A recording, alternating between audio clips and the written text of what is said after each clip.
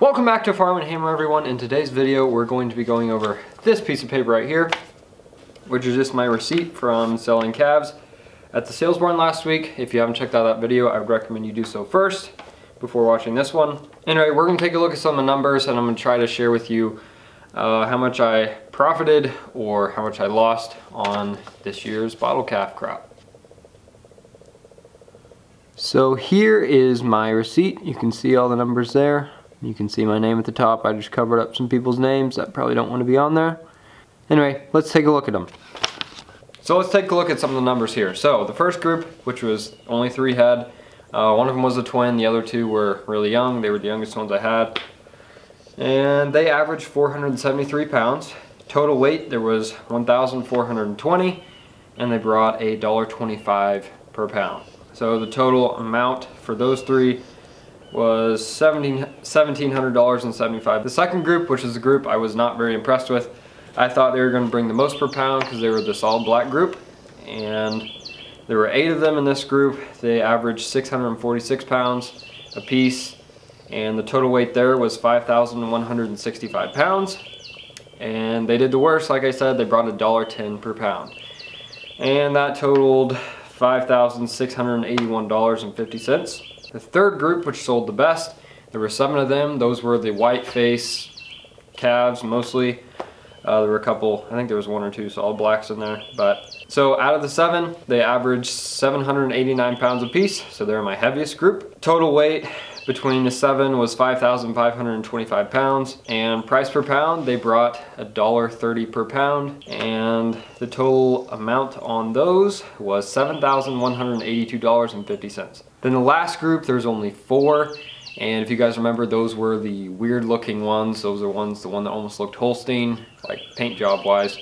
And the red one and then basically all the Simmentals that I had they were all bunched up in that group even the black white face they somehow picked him out. So these four did better than I thought they would. There were obviously there were four of them. Uh, they averaged 715 pounds. And total weight there was 2,860 and then the price per pound was a dollar 12 per pound. And the total check for those three those four was $3,203.20 so total head 22 total weight 14,970 and then the gross check was for $17,842.20.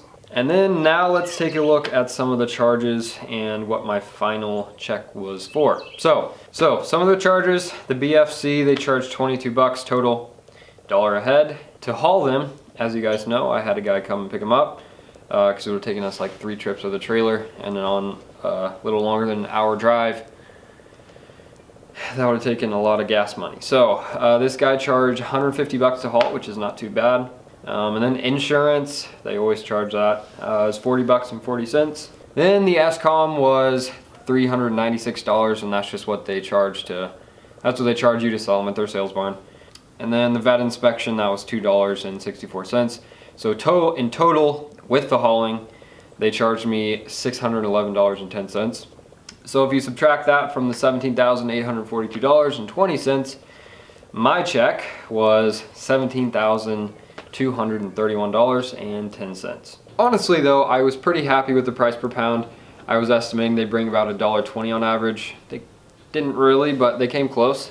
They also didn't weigh as much as I thought they would, um, which obviously brought me a little less money, but I did estimate before I took them, I was like, if they at least make $600 a head, I'll at least do okay. So they brought $800 a head, which is a little better than I um, estimated. So overall, I'm pretty pleased. Like I said, obviously I would have hoped those eight black steers would have brought a little more, but can't change it now. So now let's go over what all I had in these things, how much I spent, and all that. So first of all, if you guys remember, I spent $150 per calf this year cheaper than the first year I did it for the beef cross calves. And anyway, so I spent 150 bucks a piece.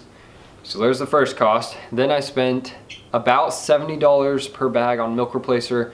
Most of them I was getting for like 63 or 65 bucks a piece. Um, but some of them I ended up spending 75 because I had to get them at a different place. So um, on average, about 70 bucks a piece.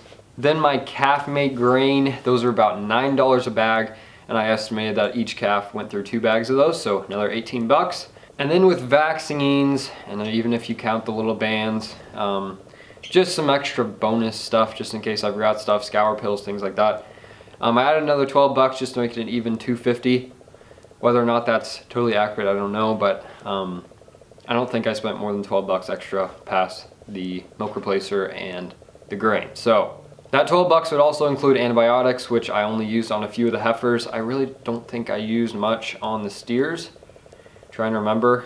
I did have to did have to give a dose or two to a couple steers, but overall these steers I didn't spend much on on antibiotics at all, which is pretty good. So let's talk about the grain aspect, which is probably the most expensive, at least in this year's case. So when I'm talking about grain, I'm talking about everything I fed. That includes what I fed the heifers. This is my total grain bill for the year. And so for the first nine months, I was feeding, I was feeding four buckets per day and those buckets have about 32 pounds of grain in them a piece. So that ends up being 128 pounds a day times 30, 30 days in a month and that equals 3,840. And you multiply that by the nine months I fed four buckets a day. And that gives me 34,560 pounds of grain. That's for the first nine months. Then from September to December, I started feeding six buckets a day. Some days I wouldn't, so I have all this added up. I'm gonna skip all the crazy math here. Um, but in total there I have 18,480. So if you add those two together, so my total grain or my total pounds of grain I fed was 52,590 pounds. And then the grain we paid for was $10.31 per hundredweight. So take the 52,990, move the decimal place over twice, and then multiply that number by 10.32 or 10.30, that's what I did. And in total, I spent a total of $5,460 and I paid for 44 calves and so if you divide that up between all the calves, I spent 125 bucks a piece on grain per calf. Add the 125 to the 250 and that totals $375 and we'll just round that up to 400 in case I skipped anything. I had about $400 a piece in them. And like I said, in total they averaged 800 bucks a piece. So I made about 400 bucks a piece on calves. So if you remember last year when I just did straight Holsteins, that is a much better number than what I made with those. So in total, I don't even know if I made $400 in the end on those Holsteins. So um, this year is much more profitable, which is which is a good thing. um, means I'll probably do it again here soon. Um, yes, I could have fed them a lot more grain in the beginning. They probably would have weighed over 800 pounds by now um, instead of 700, but once again, the more you spend on grain, the more money out of your pocket. So, and also towards the end, I started feeding some hay. I fed three bales of hay, which those were $30 a piece.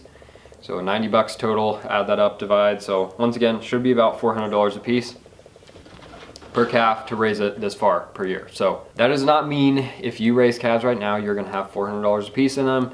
If you feed them less grain, obviously your bill's gonna be less. If you feed them more, your bill could be more. It all depends on whatever you're doing. Don't expect to spend exactly what I spent on calves, grain, or milk replacer. You're just gonna see what everything's going for in your area. So anyway, but as you guys know, I do still have 18 heifers out there and I haven't sold those. I don't plan on selling those. I'll be putting the bull in with them hopefully in next week's video or sometime this week. Um, so the 1st of January, that's when I'm planning to put the bull in with them and see which ones breed, whichever ones don't, I'll be getting rid of. But let's say I'm gonna keep all the heifers and we're gonna see if the steers covered all the expenses for the heifers. In that case, I would have a free group of 18 heifers. Let's take the 400 bucks times 18.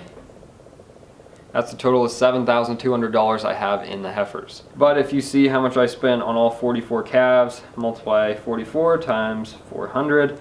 Obviously some of these calves didn't make it this far.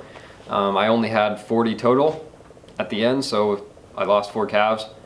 Um, some of those died during weaning, some of them died before weaning. You guys will have to look back on the old videos to see which ones died where, but um, I didn't have $400 on all of them, but this just makes math easier. So 400 times 44, that's a total of 17,600. Basically, since my check was for 17,300 or 200 something, um, I'll have to look at that. Um, it almost covered all my heifers. If I throw the bull in and I get those preg checked, if I sell off all the ones that didn't breed, oh, that may be five, it may be 10, who knows.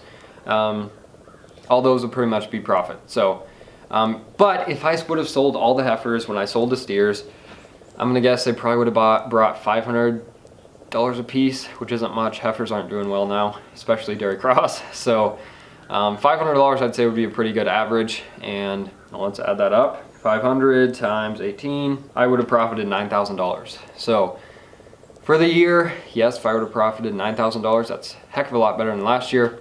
Um, but because heifers aren't worth a whole lot this year, and I'm assuming they won't be in the near future at all, um, if I do get bottle calves again here in the next couple weeks, I won't be getting any heifers this time. If I do, they're gonna have to be cheap because if I can get a steer and make $400 on them versus $100 per heifer, same amount of work per calf, steers are gonna look like they're gonna do a whole lot better than heifers. So anyway, right now I've pretty much broken even, but all my heifers are paid for. I'm pretty happy with that. Uh, 22 steers covered all my expenses, grain expenses for themselves, as well as 18 other heifers. So pretty happy with that, can't really complain. Um, I got 18 heifers that I owe nothing on and whenever I sell the ones that don't get bred, that'll be some money right in my pocket. So, was it a good year? Yes, it was a good year. I can't say, I can't complain much.